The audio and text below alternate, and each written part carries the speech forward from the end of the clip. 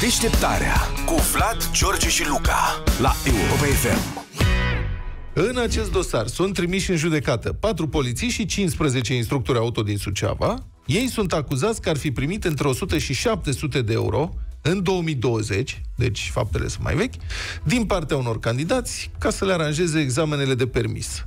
Acuzațiile sunt de dare de mită, complicitate la, complicitate la luare de mită, trafic de influență, complicitate la trafic de influență, infracțiuni comise în formă simplă, continuată, iar doi dintre acuzați s-au calificat și la faza superioară a infracțiunii, adică organizare de grup infracțional.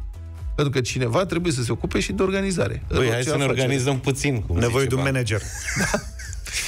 Grupul lua șpăgi, cum spuneam, cuprinse între 100 și 700 de euro de la fiecare candidat care voia să ia examenul, fără să dea, de fapt, examen. Deci se observă că oamenii aceștia făceau, de fapt, și o anumită selecție.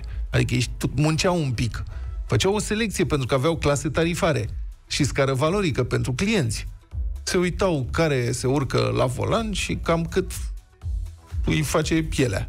Cam cum se urcă la volan. Da și cum ține de volan, dacă ține. Ăsta e vreo 600. Da. Matale, aoleu, matale, ești caz de 700 de euro, nu știu cum să spun.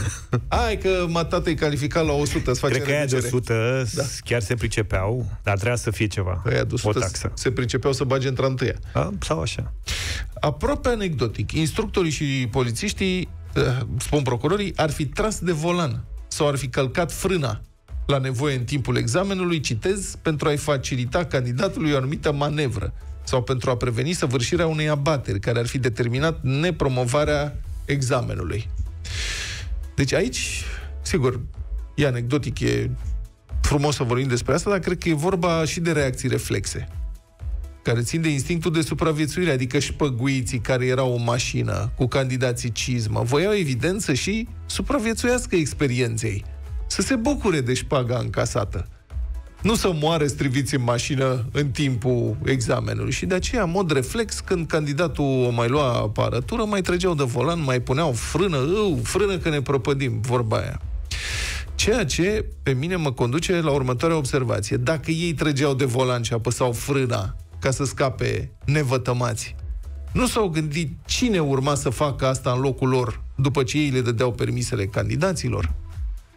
Nu te gândești, nu reușesc să înțeleg, adică dacă ai instinctul ăsta de supraviețuire, când ești în mașină cu omul respectiv, să ferești câte o chestie, mai tragi de volan, nu te gândești ce se întâmplă după ce pleci tu din mașină?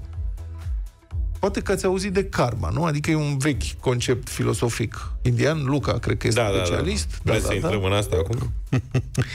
Uh, la următoarea intervenție. în karma cred destul de mulți, mai în joacă sau mai în serios, anume foarte simplificat, foarte simplificat, karma poate însemna și că atunci când faci fapte bune, ți se întorc fapte bune. Când faci rău, vei primi mai mult rău. Păi și unde încadrezi asta? Asta cu Poliția, ce s-a făcut da. El îi face un favor nu-i face beneficiarului. Păi Încălcarea legii nu este un favor. Nu.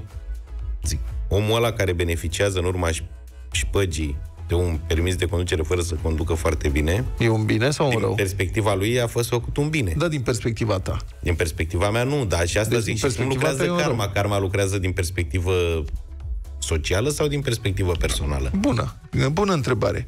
Păi eu consider că, a da, ca să ridic probleme consider de că a lua șpagă și a da carnetul unuia care nu se pricepe poate fi încadrat cumva la faptă bună pentru cineva? Este ceva pozitiv pentru cineva sau e cineva care a încălcat regulile? Din punct de vedere strict filozofic, da. ăla, beneficiarul, o el consideră că bună, da. el a primit o faptă bună că da. a încălcat regulile, că a tăiat timp. da. colțul, a tăiat că... Coada.